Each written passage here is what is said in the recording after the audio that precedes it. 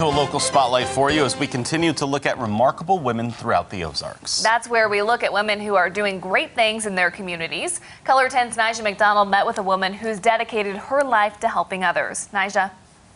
Well, good morning, Lauren and Joe. Janice Varner is from the tight knit community of Washburn, Missouri. Varner was nominated by her best friend's son, Warren Rose.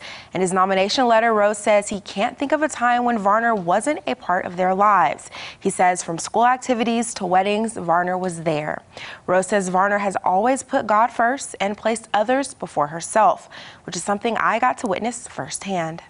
Janice Varner says she had just been reelected to serve her fifth term as the Barry County tax collector when she made the decision to retire. I haven't been retired that long, but still, yet when I go anywhere, I get lots and lots of good comments, and that's touching to me because I've always liked to help people. That desire to help prompted her retirement after learning her daughter, Gina Davis, had been diagnosed with ovarian cancer. My daughter and I were best friends before she's not only my daughter, she's my best friend, and we do just about everything together. Which now includes Davis's chemo treatments. This is my 10th one, and she's never missed a chemo treatment. She's been here for every one. Davis says this trying time has brought the inseparable pair even closer together. I knew my mother was always, always there when I needed.